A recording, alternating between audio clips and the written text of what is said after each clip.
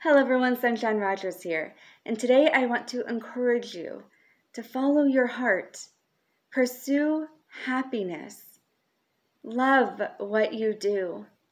And if you don't love what you do, try to figure out what does bring you joy. What is it that makes you smile? What is it that energizes your spirit and makes you happy? Now, in my book, Once Upon a Time in a Dental Office, Kay Vitti is a receptionist at Hourglass Dental, and she is not happy.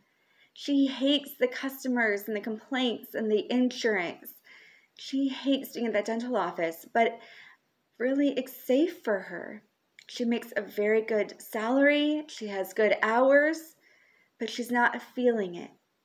She's not feeling it in her heart that this is where she's supposed to be and she's lost her passion for life. Have you ever felt that way?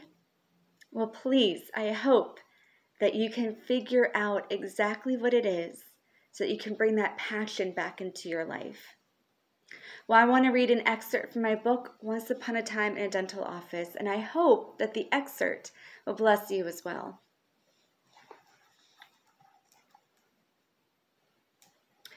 How did your evening go?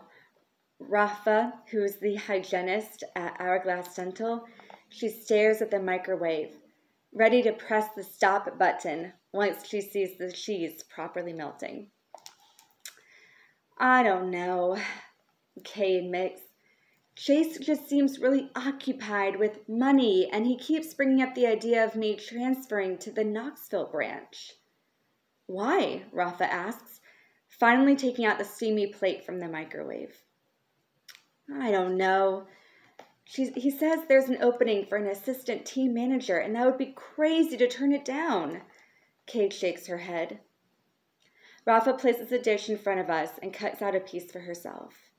Well, what do you think? I know you're not happy working with Marissa and Veronica. Maybe a new location would be a change for the better. Kay bites into her complimentary meal. I don't know if staying at Hourglass Dental would make me happy. Rafa asks, then what would make you happy?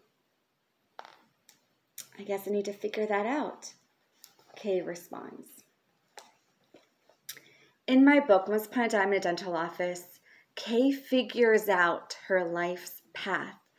And I am so happy for people who are like Kay, who take the time to figure out what is what they're passionate about, what is their life's goal, and what is it that makes them smile and puts a puts that joy back in their heart. Once Upon a Time in Dental Office is available on paperback, audiobook, hardcover, and ebook.